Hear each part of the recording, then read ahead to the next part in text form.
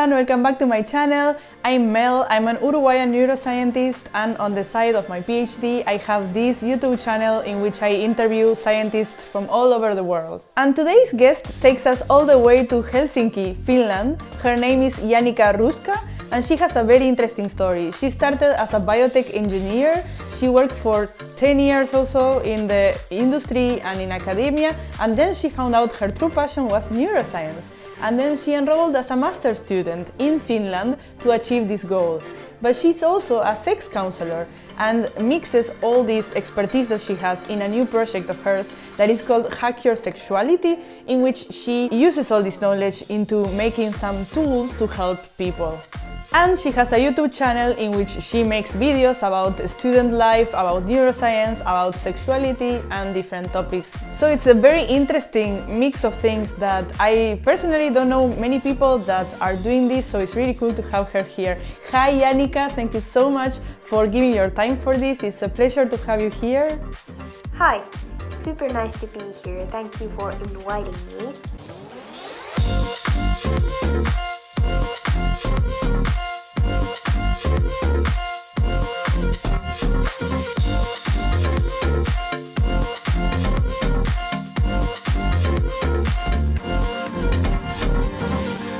So, tell us a bit about your story. As you can see, I'm wearing a sweater. I'm living in Finland and it's currently super super cold here. Also really really dark, so I'm trying to survive. I still enjoy the country. Would be nice to have more sun though. But anyways, before going to my background and what I'm doing in my life with my studies, I want to say to you that I hope that this video or this interview and uh, kind of the things what I'm talking here may inspire you or take the pressure out from you. So I'm the person who have changed from the career to another. So you don't need to know immediately when you are young or even more like older uh, that what you want to do. You can always change. So I think I ended up to science kind of it was an accident somehow my road went there. I was really into biology when i was younger and i was dreaming to become a brain surgeon. That was my dream during that time. But i didn't know exactly that what else i could be. What are all the options available there? So i applied to the school where i would have as much options as much much possible. So I ended up to apply to the school called Metropolia. It's University of Applied Sciences, so technical school, and uh, I did my bachelor's there. So I graduated as a biotech engineer. The actual name for the uh, degree was biotechnology and food engineering and some of us just focused to food engineering and some of us uh, biotech. So I chose biotech because I knew that I'm really into kind of human health things. But you can, like from that degree, you can choose really, really many things. Now you're studying neuroscience, but in between there were some years that you were working on other stuff. Can you tell us what kind of stuff did you do? So I worked for example in uh, Red Cross uh, Blood Service, their lab there, and also Orion, it's a big pharma company in Finland, so I, I chose these kind of things. And somehow at some point I just ended up to uh, work in academic research. So I worked in University of Helsinki. Uh, they have many many labs there and I ended up to this lab which is doing breast cancer research the project what, where I was involved, it was mainly focusing the environment where we culture the samples. So when we get the patient sample, we put it to the culture, give it kind of food, all the supplements and things, and it will grow there. There are many uh, subtypes of breast cancer. So when we get one subtype, we want to that it, the sample will stick as the same subtype as it is. So we uh, did the uh, research how the environment affect for that, so kind of creating the correct environment. And that's important because of course then the drugs we are testing if they could treat the breast cancer, if the cancer is still the same or at least really really similar, then the drugs are like they are giving the correct result. So it's super super important that they will stick as the same. Anyway, I did all kind of lab work there and at some point I realized that yeah, I really enjoyed the topic but it's not my passion exactly. And um, to me it's really important that I'm passionate about the topic because I also noticed that when you're working in academic research you make these questions and you might have guesses how things work and then you work really really hard and then you might fail. So you need to get energy from somewhere to continue still even you would fail multiple times. You continue, continue, continue until you get the result. And that I think the passion is the thing. Like from there you get the energy. Yes, as someone that is working in academia, I can 100% verify that. it's totally true. Okay, and now, so you, you have this realization, and now what? Like, how do you like move on from that and find your new passion? So I started to think, what is my passion? I met multiple people and discussed, like, listen to myself what I'm really enjoying, what I'm passionate about. And um, I ended up to neuroscience, which is funny because I thought that when I was 15, as you uh, remember, I mentioned, I wanted to be a neurosurgeon. So now with the research, I, I found that yes, neuroscience is the thing. Um, it took 10 years to find my topic, but I'm super happy I found it. And I applied to University of Helsinki, it's also here, here in Finland. And um, I, I now I'm currently doing my master's there with the neuroscience.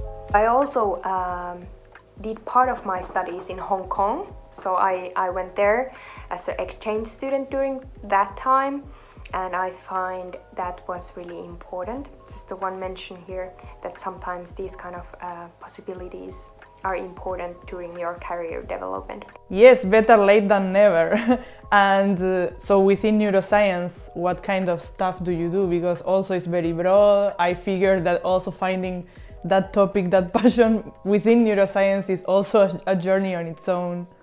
I'm super happy about the topic um, but because the topic is so fascinating, I found so many interesting questions. I was a bit lost beginning of my studies, what I should do, what is the thing I should focus, because you can focus so many things. You can be interested in signaling pathways, topics like Alzheimer or Parkinson's, mental disorders, memory or emotions, cancers in the brain, so many different things. And how did you narrow it down? Do you have any tips?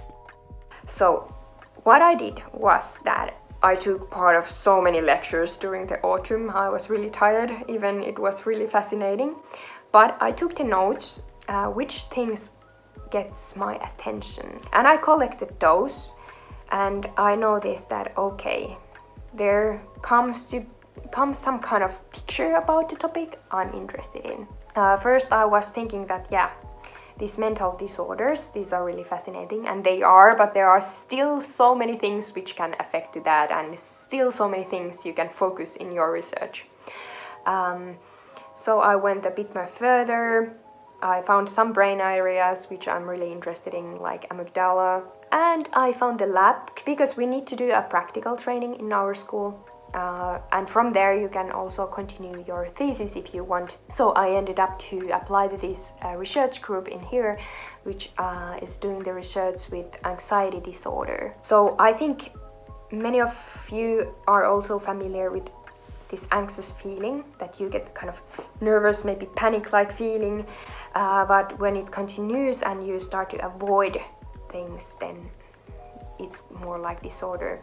One type of uh, anxiety disorder is that you start to avoid social situations, so you're afraid of those. And amygdala is a well-known brain area which uh, is activated during the, these fearful situations.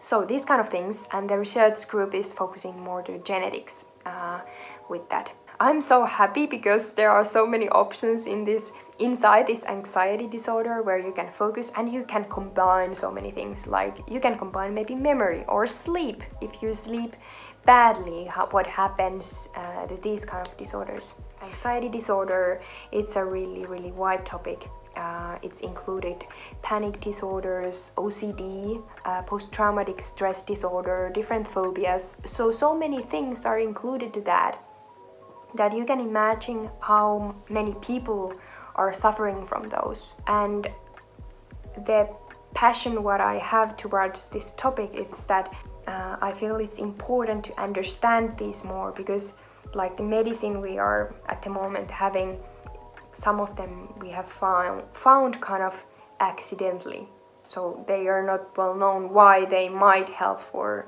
this exact patient so it's really really important to understand uh, what are for example the environmental factors which affect uh, that these people might get the, these kind of disorders so the passion comes of course helping people and from that point of view Yes, this topic is very interesting. It's also very relevant, very important. There's many people suffering of this disorder, so it's really, really cool that there's people like you working on them.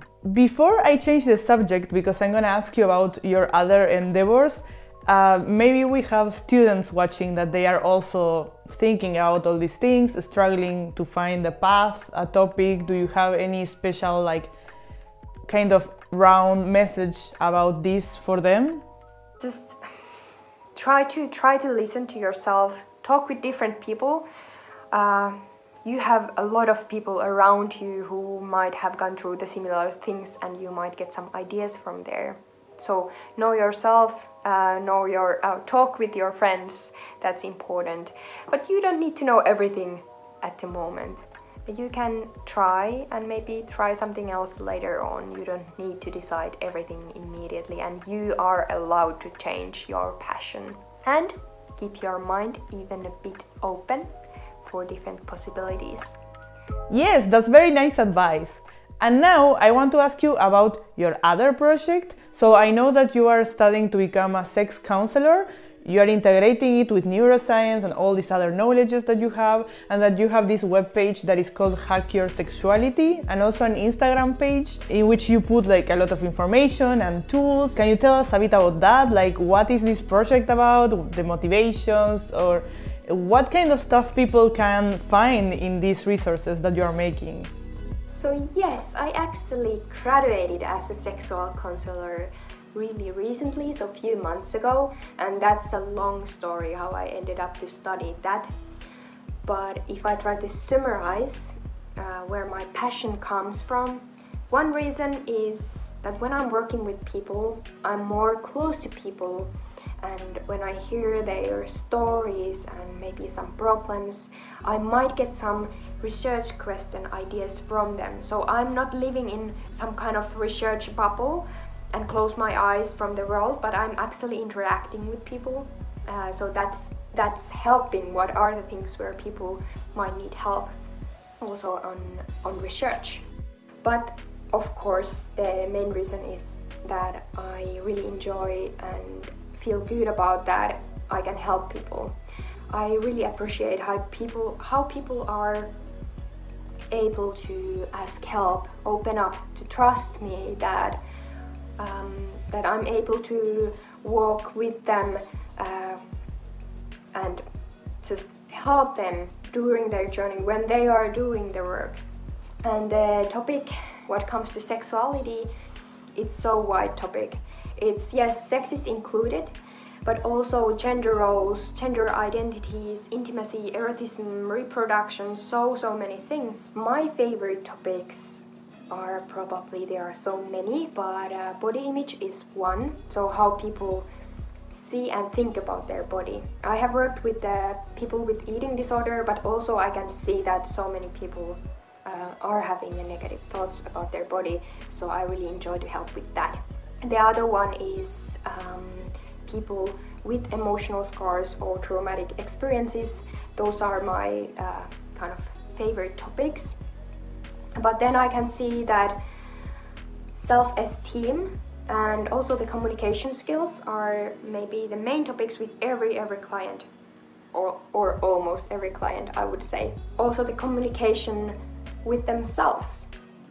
And for that I have actually created a project called Hack Your Sexuality. So I have Instagram account for that. I have shared quite a lot information there so I recommend to check that. But I also have the homepage for it hackyoursexuality.com just go there and subscribe the newsletter so you will get the updates. So my plan is to write articles there and to combine also neuroscience to the sexuality.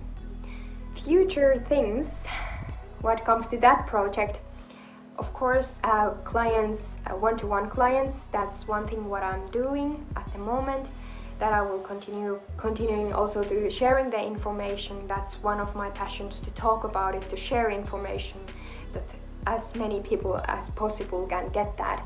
And let's see, I'm, I'm thinking that I will at some point have their workshops or webinars or some courses. So I'm that kind of person that I enjoy to have uh, multiple projects ongoing.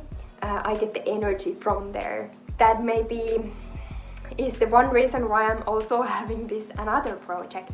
So I'm having my YouTube channel it's on my name, so Janika Ruuska. And there I'm sharing my private life also um, while I'm studying, so all the struggles what I'm facing there.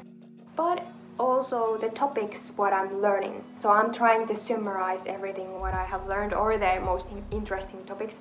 And also I'm sharing the research questions because I feel that I get those all the time.